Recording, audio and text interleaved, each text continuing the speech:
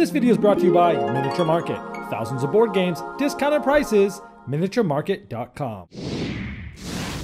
Hello my friends, it's the Game Boy Geek here. Today we are at the racetrack, but we're not sitting in the bleachers drinking beer. We're actually in the pit, changing tires, filling up gas, fixing the engine, and all this cool stuff, and it's gonna be a tense real-time adventure. Today we're looking at Pit Crew. This is from Stronghold Games, designed by Geoff Engelstein. Uh, it is for two to nine players, and so let's take a look at how this is played, and then I'll see you on the other side.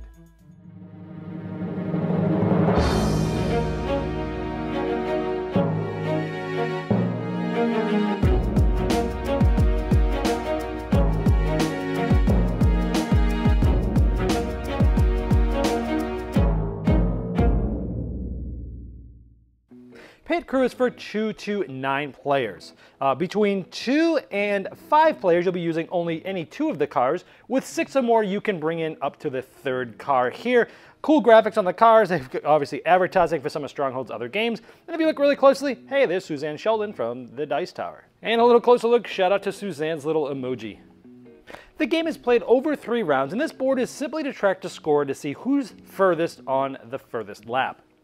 Now each car color comes with its own cards color, and there's essentially cards in here that are numbers. Now each of these cards has a number between 1 and 10, and the numbers are either going to be white or black, and this is important that I'll go over later. Now depending on the amount of people working on a car, you'll have a certain amount of car, uh, hand size. So if you're by yourself, you get six cards, but if there's three players on a specific car, you'll get two cards each. And if there's two, you'd get three. So it balances itself that way, even if you have uneven amounts of players on each side.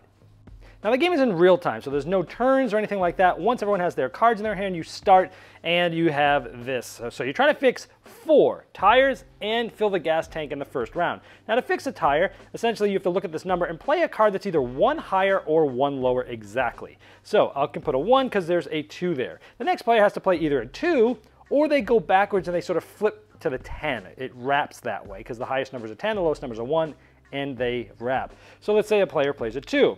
And then the next player has to play either a 1 or a 3. They play a 1. And let's say the next player can play, again, either a 10 or a 2. They play a 2. Now, you don't have to do it in the successive order. You can play a card here, then a card here, then a card here.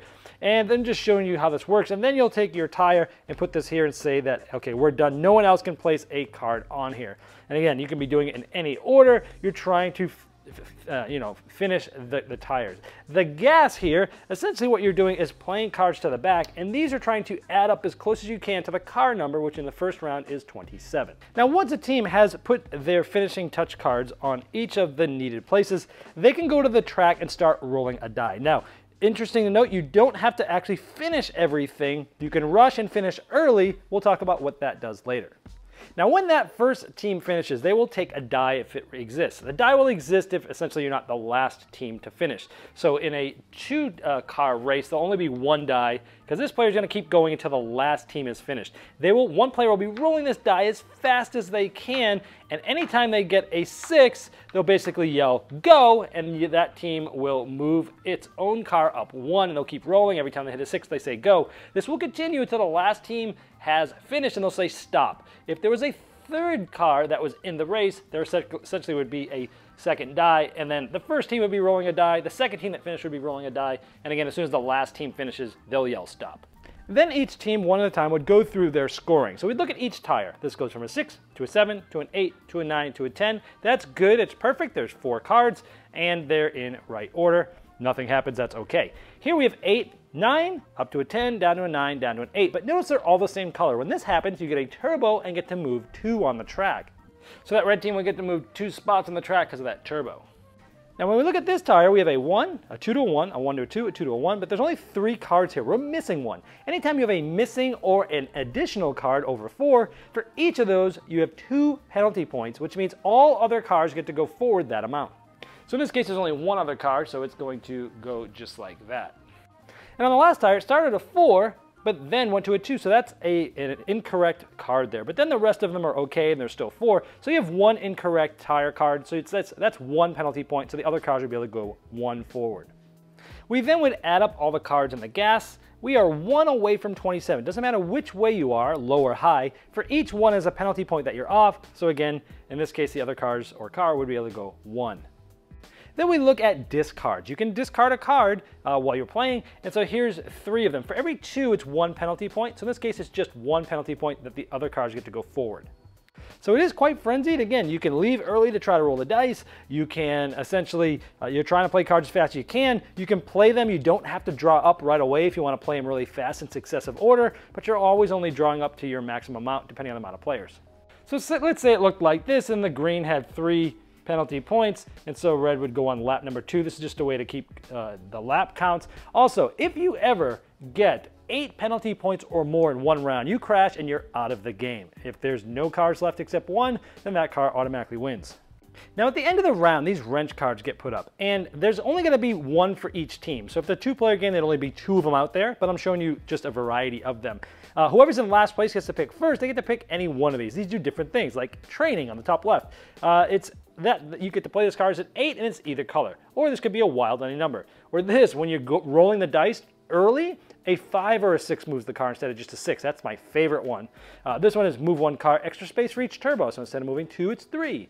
Here is other crews receive one penalty point for each 9 or 10 in the back of their fuel tank, or two of your crew members have their hand size increased by one. So these are the different types of things they do. You're only getting one per round, and there's only one card out there per team to choose from.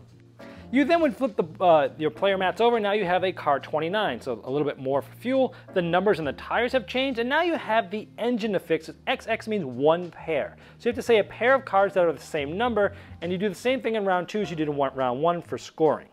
After that second round, you'd do another wrench uh, draft where you'd get another special ability card, and then you'd go to card number 31, which again, the numbers have changed, and now you need two different pairs. You'd play three rounds, and whoever is the furthest on the board wins. You can also play either an additional round or play the, the hotter card, which is three pairs up here and different numbers. So you could start on the 29, then go to the 31, and then to the 33, or you could just play an extra round if you want. Uh, that's pretty much it. Whoever's done the most laps wins. If you're on the same lap, whoever is further. If it's tied, whoever is on the inside wins, because if someone gets there afterwards, they go on the outside. Now, I first got a chance to play this a year ago at Origins, where Geoff Engelstein was there uh, with a prototype. It was just some, some generic cards that he was mocked up, and he was testing it with us while we were there. And even the first time I played the prototype version of this, I really liked it. It was, the, you know, myself and the Secret Cabal, and we were all hanging out in the Dice Tower booth late at night at Origins, and we played and we had a blast, and I've been looking forward to this uh, for a year to play it. So now that I've had a chance to play it multiple times, did it live up to the way I felt about it when I first originally played the prototype? Well, let's get going. First of all, this game is very thematic, and it not that I have ever been in a pit, but I can imagine it feels like a pit. It is stressful. There's communication going on. You're trying to do a lot of things at once. You're trying to help somebody over here. You're trying to help somebody over here. You're trying to figure out who can help over here. And it's this frantic, press, it's, it's pressure, but it's fun. So I love how it really does make you feel like you're in the pit. And there's, because it's real time, there's some frenzied communication. You're trying to figure out what to do, when to go. You got people making, you know, split second decisions. You get some people doing something that you probably don't want to know. Oh no, you, you ended the tire early. They're like, no, it's okay, we'll go fast and push and pull and you're, you're hearing what the other people are doing and there's just craziness going on and I love that aspect of this game.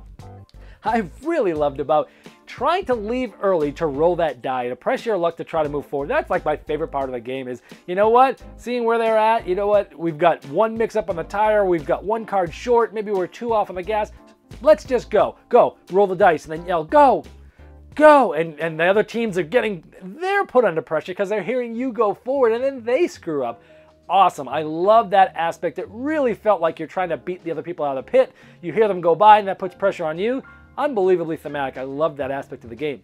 This game has a wide player range, 2 to 9, and it is pretty darn balanced. I mean, I played it one-on-one, -on -one, just two of us with my father-in-law, and it works fine. It's great. It's your own little puzzle that you're trying to figure out. You're trying to go fast, but you're thinking, you've got the most cards, uh, all the way up to having, you know, multiple people. And even the even when you have different amounts, so you play with five, and you got three in one team and two in the other because of the hand limits, like the rule said, it was balanced. We felt it was balanced. So I love how you can play this game with a very wide range of players, player counts from two to nine, and they all work well. It's not one of those games where it's like, well, we need an even, or well, we need this many or this many. Like a lot of these bigger games, sometimes it's like, well, it's great with six or eight, but it's not really. This thing works with with everything, and that's tough to do in a game of this type.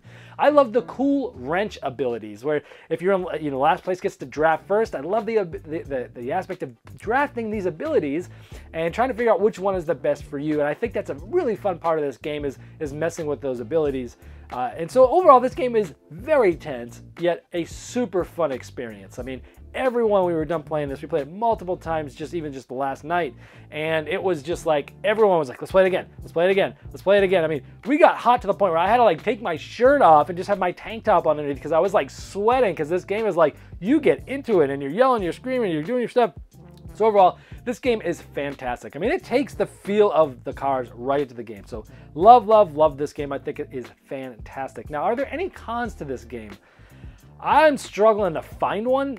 It's going to be an obvious one, and that's that some people might not like the pressure of real time. Uh, some people just don't like real time games. If you don't like real time games and you don't like being pressured, this is not going to be a game you're probably going to like. However, I will say that since the real time is team based, you could put yourself in a little bit of ease saying, you know what, it's okay if I don't if I don't do the right thing or I'm screwing up a little bit, it's okay because I have a team to fall back on. It's not all on me, the spotlight all on me. But that's the only con. Otherwise, excellent, excellent game. Highly recommended. It's probably one of my favorite real-time games now.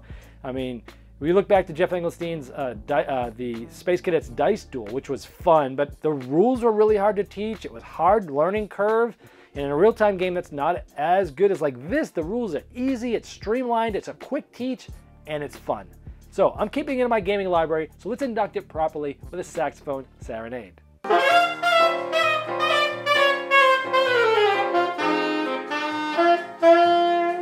This video was sponsored by Miniature Market's Review Corner. The Review Corner features podcasts, video, and written game reviews by gamers for gamers.